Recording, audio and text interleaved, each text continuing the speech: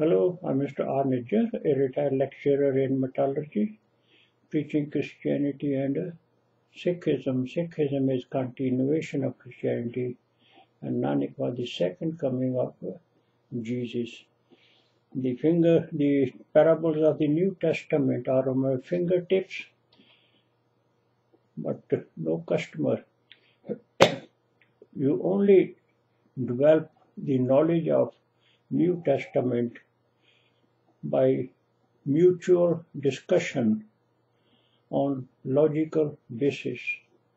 So if two or three gather together, royal priest, not the just book people, then Christ Jesus is among us. Then we can ponder over his word and digest it in our hearts, bring it out from our own mouth in honor of Christ Jesus to glorify our Father God. Here I'm doing the Gospel of Saint Matthew 16 verse 13 to 20. So Jesus is the anointed Christ of God. When Jesus came into the district of Caesarea, Caesarea Philippi, he asked his twice born brethren, and not the once born natural, spiritually blind disciples of the rabbis, that needed disciplining through the moral laws of Moses. You know, the, the word disciple, the root is discipline. And you discipline these natural boys, once born, 12 to 16 years old, by teaching them the moral laws of Moses, which is milk. They cannot take gospel, which is meat of Jesus, flesh of Jesus. They cannot take that one. So they, Jesus had no disciple, no people, babies who were taken, who were on milk, but grown up, who had teeth. Teeth mean capable of logical reasoning to ponder over his word. That is called chewing the meat. Who do people say that the Son of Man is? Son of Man Yahweh. You remember that Yahweh is made of, oh, Yeshua, sorry. Son of Man Yeshua is made of two words. Yah from Yahweh, Shua mean Adam. So he was the firstborn of Yahweh, the second Adam, son of man, is. That is called also water, born of water. And they said, some say John the Baptist, but others Elijah. Now John the Baptist was an angel, and he was prophet Elijah. My God is Yahweh. So he worked for Yahweh, and he worked for Adam. Whereas our anointed elder brother, he worked for, for our Father God, spiritual one, Elohim, Allah, Parbrahm. And still others, Jeremiah, are one of the prophets. So they were just thinking prophets. Remember here to mention is Samaritan woman, she was so well qualified in spiritually that when she vetted Jesus in spirit, she proclaimed that you are a prophet. Then at the same time, she said, when Christ comes, he will tell us everything. That means Christ is greater than the prophet. So most people, they just was, their knowledge was only substandard to the prophet level. But the Samaritans knew up to the Christ level. So that is why Samaritans did, were not spiritually sick. They did not need doctor. So that is why I say, let him go. James and John, when they went to a Samaritan village, they did not accept Jesus. So they came angry put that village on fire as Elijah did. He said, You don't know what spirit you are of. I've come to do the will of my Father, not my will. And that is Islam. Submission to the will of Allah.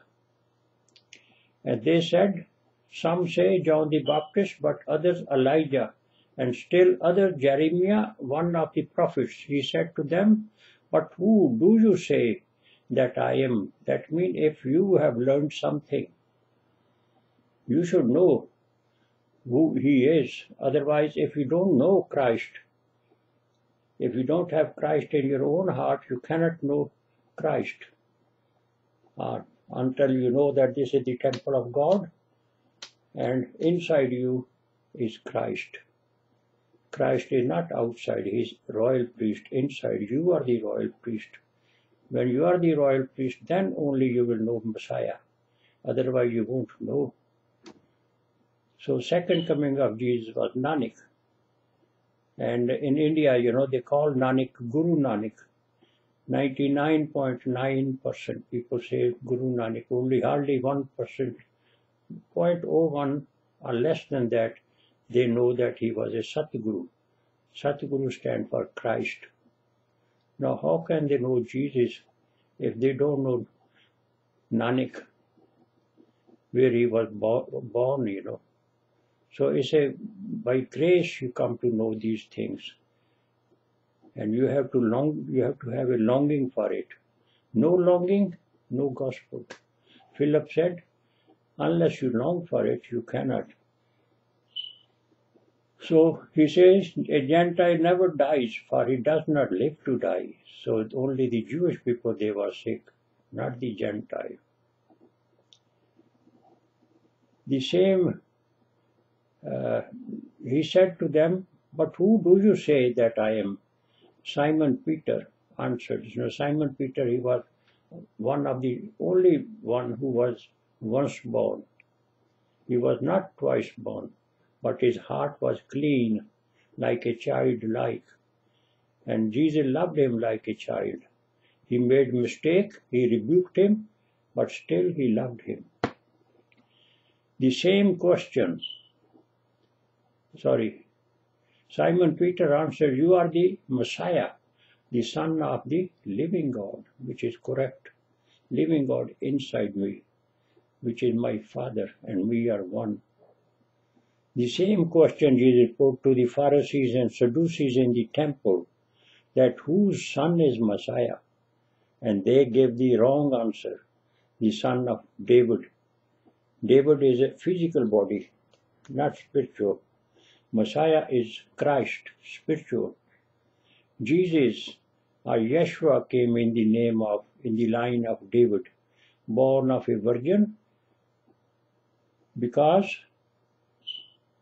the people of Judah tribe had become unfaithful to Abraham, unfaithful to Yahweh, and they were they became the cornerstone in the other fold, in the temple, that the builders rejected. Builders means sons of man rejected. They were the Jew people of Judah tribe were the only people who became Jew 100% outwardly, almost. The other people were not that much. A Jew is one who is inwardly, not outwardly. Outwardly, you are tribal people, Levi tribe, Benjamin tribe, Judah tribe, so and so, different tribes. But people of the Judah tribe, they were very clever, they had great knowledge. And being knowledgeable and clever, they started Judaism. From Judah to Judaism, Judaism to Jew. From when they became Jew, they one of the this Sack, you know, who is the chief rabbi in London, I asked him, a Jew is one who is inwardly, not outwardly. Not a single Jew died during the Holocaust at, in Oxford University. And he said, no, no, a Jew is one inwardly and outwardly. Both. How can be both, you know? There were Professor 50, 60 sitting there None of them had any idea because they are people of the book, spiritually dead people who, uh, what we call super donkeys carrying holy books. So they had no knowledge. So Sadducee in the temple that whose son is Messiah, and they give the wrong answer, the son of David. Jesus or Yeshua came in the line of David, born of a virgin, because they were the people of Judah tribe were the only people who were the lost sheep out of the hundreds. And Jesus had to bring them into, a, into the other fold. So he was born among them so that he will they will appreciate that he is our, you know, he is of our of Judah tribe, and we should listen to him. No, they turned around. They loved darkness. Light came among his own, but they loved darkness and they killed him. But Messiah, the Christ, they had no idea when Jesus told them that he was before David and Abraham. They could not understand and laughed at him. That is why Jesus told his brethren, don't tell people that I am the Christ, because people will laugh at you. Same with me. I tell people, they ask me, Are you a Christian? I said, No, no, I'm not a Christian. Then who are you? I said, Okay, you recognize, you tell me who I should be. They have no idea. Then I tell them I'm Christ. They laugh at me. Peter gave the correct answer that you are the Son of the living God, Messiah. And Jesus answered him, Blessed are you, Simon, son of Jonah. That means he made, reminded him of his father, that we made him born of the water. For flesh and blood has not revealed this to you. When we are born, we are natural. By nature we are born, in which you have flesh and you have soul. Two things. The common sense is missing. Not everybody has common sense, you will see. Some are born, they are simpleton. They what are they are told, they do it. Like animals. They have only instinct, you know, animal instinct, tit for tat. If somebody hit them, hit them back no common sense that if you hit each other, you will one of you will die. And that is not the way to overcome the enemy. Overcome the enemy by hitting at his conscience, which is turning the other cheek. So people, they are boxer, you know, for example, they are, they are bashing the temple of God of each other. They are animals, but people love them for sport. So, son of, for flesh and blood has not revealed this to you, but my supernatural Father Elohim, Allah, Parbrahm, etc. in heaven by grace. So by grace, Jesus gave him a taste of gospel. And Peter, you know, was once born. And when he said, ah, I now understand gospel, and he was so happy and became arrogant. Now I am also like the other brethren, can understand it. Jesus had confirmed it. So Holy Spirit is by grace. This is the third part. Flesh, soul, and spirit, Holy Spirit. Spirit is given by God. You can misuse it to cheat people, make money as they do it in bankers and other people, you know, they manipulate people and cheat them. That is evil spirit, mammon. As these dog collar priests in churches, you know, they know that they are working for mammon, not for God. But they tell the congregation that they are men of God. They retire at 65 as a policeman does. And I tell you, you are Peter, on this rock of basic truth, I will build my church of God. That means Jesus here wanted to confirm to Peter, you know, that unless you are truthful, he used to be truthful, whatever he saw, he told Jesus. He won't mix anything. Like a little child, he will tell everything what he saw. That's why Jesus, unless you become like little children, you cannot enter into the royal kingdom of God. So this is the rock, you know, truth. What is inside should be outside.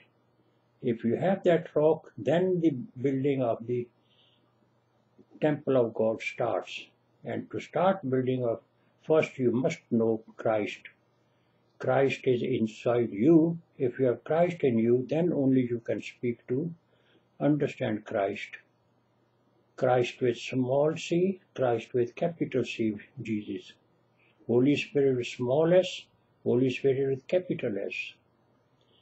And I tell you, you are Peter, and on this rock of basic truth I will build my church of God, the one fold headed by Christ Jesus, and the gates of Hades will not prevail against it Uh, no one would be able to shake or destroy a Peter, as Peter destroyed those of Ananias and Sapphira.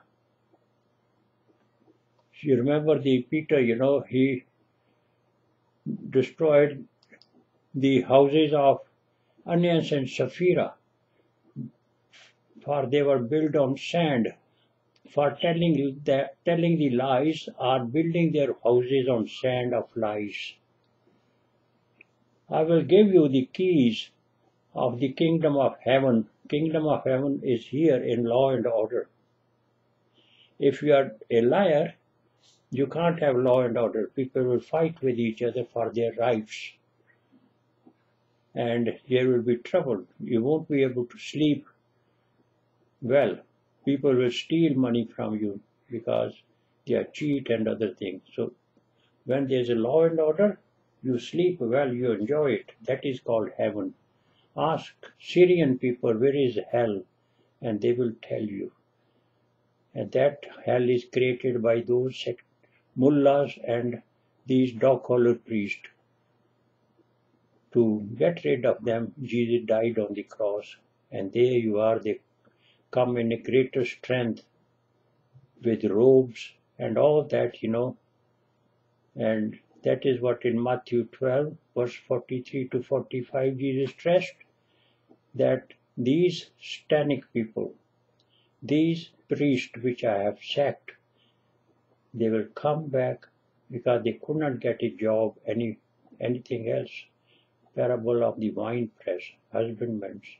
They could not get a, another job to do. They were only used to the uh, priestly job of Rabbi, Pharisee, Sadducee. So they entered the church of God with Torah under their armpits and poisoned the church with old wine. When the people were drunk with old wine, they desired not the new. So apostles were thrown out and then put before animals to be eaten alive. That is how they killed the light that Jesus brought in. And whatever you bind on earth will be bound in heaven. And whatever you loose on earth will be loosened, will be loosed in heaven. That means Peter had the power of killing people or making them alive. But the power to kill people was not given to the other apostles because they worked for the other thing, he worked, he had the key to the kingdom of heaven, which used to be with the rabbi. Rabbis were like this, rulers. Peter was ruler like that. And whenever there was a new church to be opened, Peter was the first one to give the sermon, laying the foundation of the church of God, which is this one. And then the other apostle will sow the seed of his word in our hearts. Then he sternly urged, urged, not ordered. You urge them, you know. You don't order because Jesus came to serve, not to be served. Jesus was not a ruler. He was a super servant. So he urged, urged his brethren, his laboring brethren, and not the once born spiritually blind disciples, not to tell anyone that he was the Messiah, light. To tell a blind man that I am a light, you see, you will see how, how, how they make a fool of you. They will laugh at you, hey, this man is a Christ. And you try it, and you will see how these general public will laugh at you. Christians are people of the book. Dead letters, they dead letters go into their brain, memory, memory, and dead letters they vomit it out without understanding, like a parrot. And we take the dead letters into our heart, digest them, and get the life out of them. Because the Gospels are buried under the field, buried under these letters. Unless you have power, logical reasoning power to dig them out, you get nothing dead. So we have the power to dig out the treasures of our Father God. Our Father God blesses you